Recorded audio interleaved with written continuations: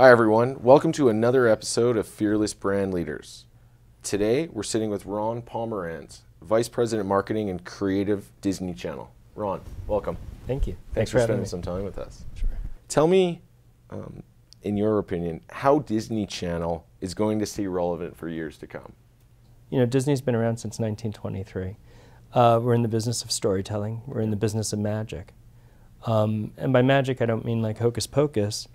I mean the magic of wonderment and true amazement. You know, when you, you look at the parks and families, we show the joy in the face. We don't show the joy in what they see, and that is timeless. So I think as long as we are in the places where kids are, we will be relevant. Um, you know, I- think this is probably not new news to you, but the entertainment business is terribly hit and miss. Um, with so many successful shows on your roster, you know, Disney Channel seems to have figured out some sort of secret formula.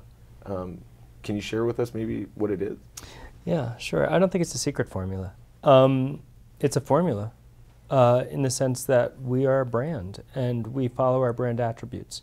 Our main promises are believe in yourself, celebrate family, express yourself, um, made just for you. So all of our programming and our branding reflect those promises. Um, every show that is on our air, you can see the element of that in it. Um, there are times when you're in the zeitgeist more than other times, Yeah. um, but I think the product is always very true.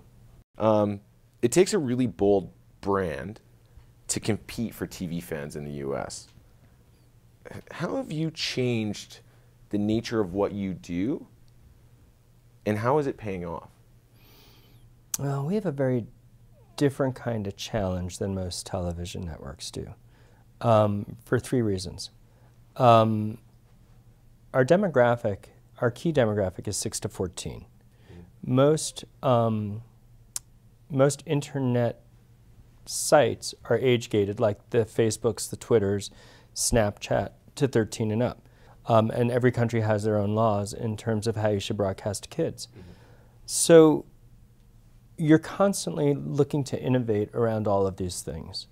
Um, getting hashtags on our air. You know, it's such a simple thing.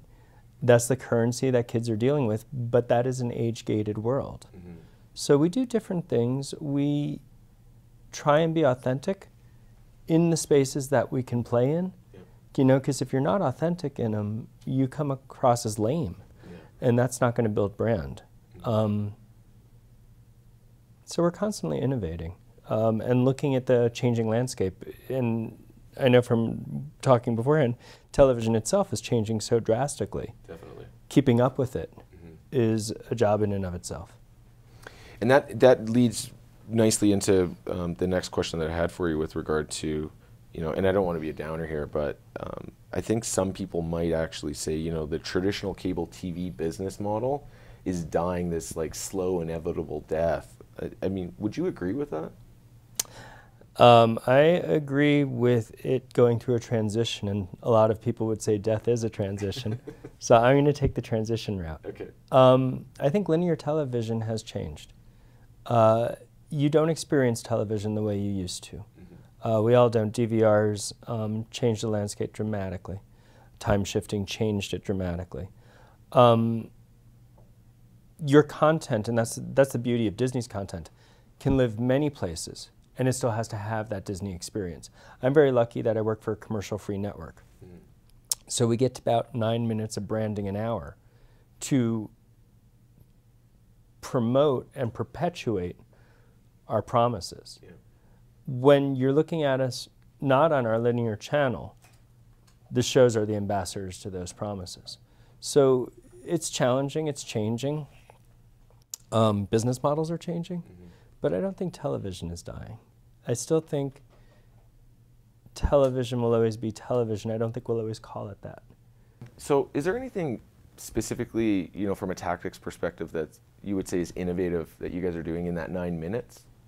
I'm a huge fan of the clock, the broadcasting clock. Um, you really want to create an environment that sustains and entertains and make sure that the breaks are equally engaging as the programming.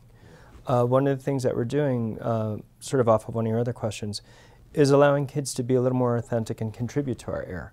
So we recently relaunched with a new global package that's footage based instead of graphics based that enables each country to customize for their country. That grew from sort of presentational to contribution. Uh, using a couple of different pieces, we now solicit um, from the kids materials, uh, whether it be a series like Make Your Mark, show how you're influencing the world, um, or uh, The Time I, which is an anthology storytelling interstitial that is about small moments in kids' lives. Um, so we're allowing the kids to be authentic, to be vocal, to be heard. Um, and I think that's the most it's the most important thing in childhood is to be seen and heard. And here we are a network that is for kids. So by spinning it back to them, I think it keeps it relevant and it keeps it real. That's all I have for you today, Ron. I appreciate you taking the time to share with us, and um, I look forward to seeing where everything goes. Um, it's been a great honor to meet you and spend a little bit of time together. My pleasure. So uh, all the best for the rest of the time here. Um, and that's it for us. So please tune in next week for another episode of Fearless Brand Leaders. Until then, stay fearless.